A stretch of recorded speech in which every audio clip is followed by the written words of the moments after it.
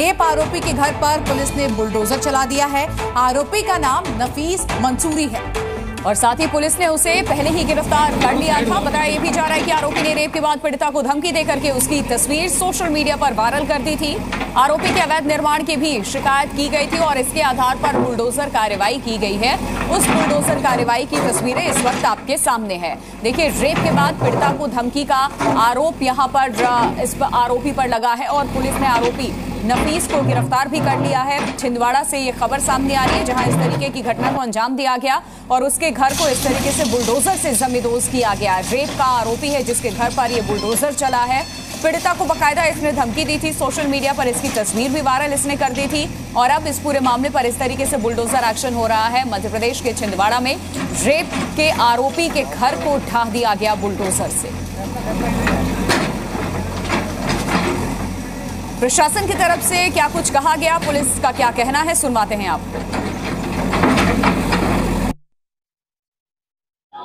दिनांक 11 आठ 2024 को एक पीड़िता के द्वारा थाना चाँद में ये रिपोर्ट दर्ज की गई थी कि मेकडोन का जो आरोपी है, नफीस मंसूरी, उसके साथ ज़बरदस्ती बुरा कृत्य किया है।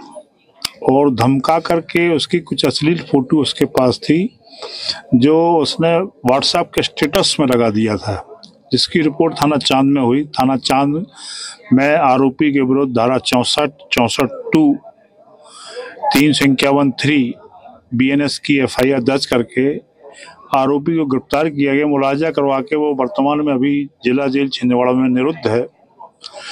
कुछ संगठनों के द्वारा, कुछ लोगों के द्वारा, उसके द्वारा अवैध मकान, जहाँ उसका पट्टा नहीं, उसके बारे में शायद तहसीलदार साहब को ज्ञापन दिया था, जिसकी सुनवाई के बाद उस अतिक्रमण को हटाया जा रहा है बुलडोजर एक्शन पर प्रियंका ने उठाए सवाल। बुलडोजर न्याय अस्वीकार है, प्रियंका गांधी ने कहा।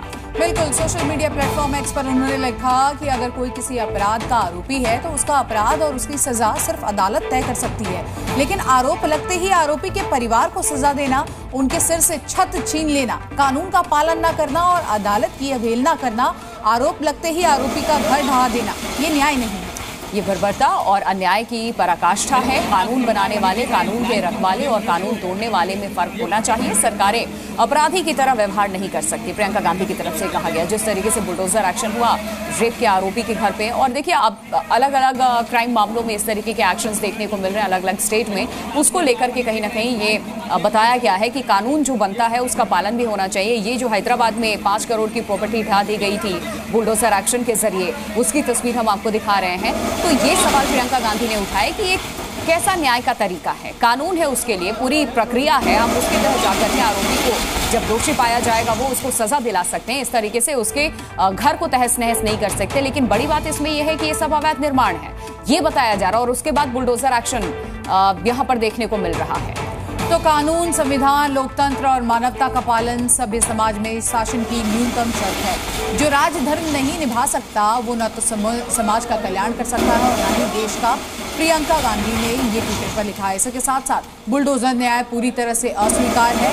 ये बंद होना चाहिए। आप देखिए लगातार, चाहे उत्तराखंड हो या फिर उत्तर प्रदेश हो, मध्य प्रदेश हो, आए दिन ऐसी तस्वीरें सामने आती रहती हैं। बुलडोजर एक्शन की शुरुआत कहीं ना कहीं उत्तर प्रदेश से हुई थी और उसके बाद इसको लेकर प्रियंका गांधी ने सवाल उठाए हैं।